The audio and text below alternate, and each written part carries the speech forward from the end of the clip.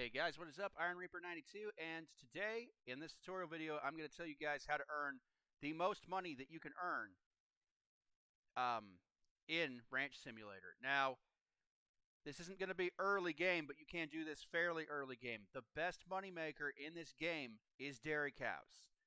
There's a lot of people that run meat farms, um, but minute for minute, the amount of work that you're going to be doing you're going to make more money making blue cheese or white cheese or hell, just even making regular cheese than you're going to be making raising and killing, slaughtering animals, especially since um, before an animal is ready for slaughter, it takes like anywhere from five to 12 game days, and it just it takes forever.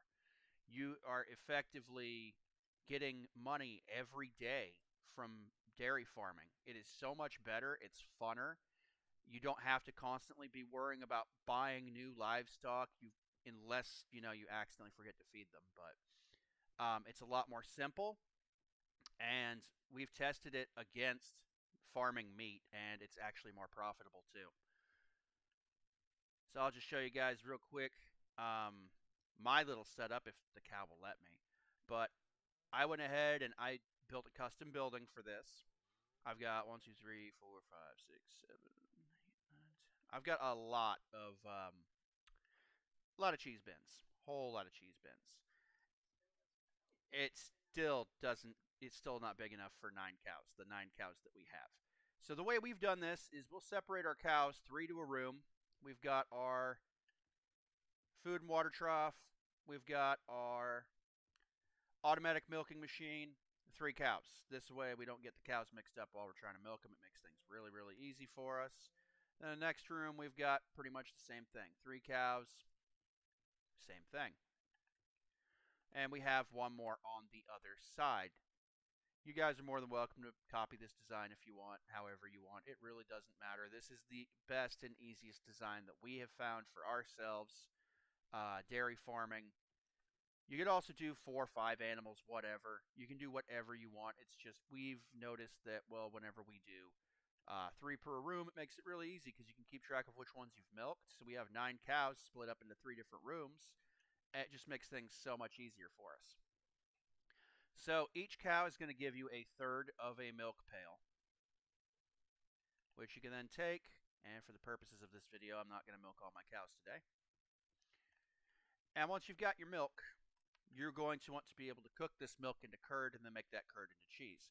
So you're either going to need a house with a stove or you can buy these little portable cookers from the store and pots. And you can put them anywhere. We put them on top of our uh, cheese preserving bins. I mean, you can put them anywhere. You can put this on the floor.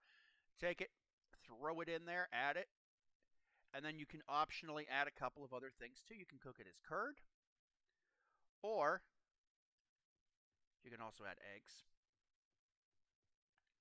and you can also add cheese mold. Now, there's two different types of cheese mold for cows. Please do not buy the white goat cheese mold. Make sure it says cow. I've done that a few times. Get you some cheese mold and throw in there too. And all that's going to do is it costs money, but it adds to the value of the final product, which is very nice. So you're spending money to make money. Very nice. And there's there's a little glitch sometimes where you have to pick it up and put it back down because it won't let you cook. But um, yeah. So yeah, I'm just going to go ahead and fill all these up real quick. Just wanted to show you guys how to do that. Now, once you get cheese out, whoops, like what just happened there, uh, you're going to need a cheese fermenting bin, like we've got here. You just set them in there, and they ferment. It takes them a while. When they're done, you take them out, and preferably you'll put them into uh, a cooler. Now, you can stack them on the grounds, but we, we prefer coolers because it's just so much easier. And the payout for this is insane. We pulled in $25,000 uh, from two days of dairy farming with nine cows the other day. We were able to basically get whatever we want. We still have seven thousand uh, dollars. My wife and myself both went out and spent over ten thousand dollars on a horse from two game days worth of work. So this is a lot better than meat farming. So unless meat farming is your thing and you just think it's fun, I, I would highly recommend dairy farming. It is just so much better. Um, and I really don't like butchering the animals, anyways, because I just don't like the idea of butchering animals. So I like that you can actually make more money doing this. Well, that's probably pretty much it. The only other thing I could do is show you guys where to sell it, but if you're watching this video, you probably might not know that actually, so maybe I should show you that real quick. So we've got, you know, the big van, whatever. You can just load your stuff up in there and take it down to town. Um, I'll go ahead and show you guys where the shop is real quick. If anybody else already knows, you can go ahead and just leave now. It's all good. Not wanting to upset anybody who already knows, but for players that don't know, I'll show you guys where to sell the cheese at once you uh, once you have it.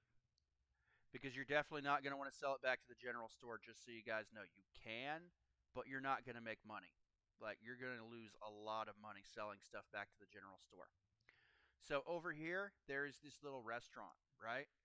And well, I've got a I've got a volunteer right here, real quick. I'm gonna go ahead and just skin this guy, and I will show you guys. I'm gonna sell McDonald's some roadkill real quick. So we're gonna pick up this what's left of this deer. There should be a lot more meat from from a deer that size. Just saying. We're gonna put it right here. So you drive your vehicle over this. Anything that's within this little area right here, that's going to be able to get sold. Now, they also have deals every day. They've got uh, sales that go on where you can make more money. Right now, milk, you can get two times for milk, chicken meatballs, and wild meat. Oh boy, we're selling wild meat. So you just come in here and uh, you don't order a burger. You go over here to this terminal and they'll take all three pieces of Bambi that I just found on the side of the road for 90 bucks. So I'm going to hit sell all. They take the meat, I get my money, and Bambi's gone. That's how you do that. Don't sell your stuff back to the general store. You won't make any money. Anyways, hopefully this video helped you guys out. Please like, comment, subscribe, all that horrible stuff that I hate asking for because all the other YouTubers do it and it's just annoying. It's kind of a given. So, anyways, thank you guys for watching. We'll see you in the next video.